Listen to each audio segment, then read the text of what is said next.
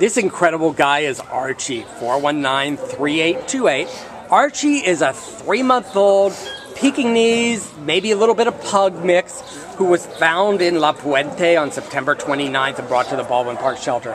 An incredible dog, very, very gentle, very sweet, very loving, weighs about 20 pounds, gets along with absolutely everybody, has the most adorable face.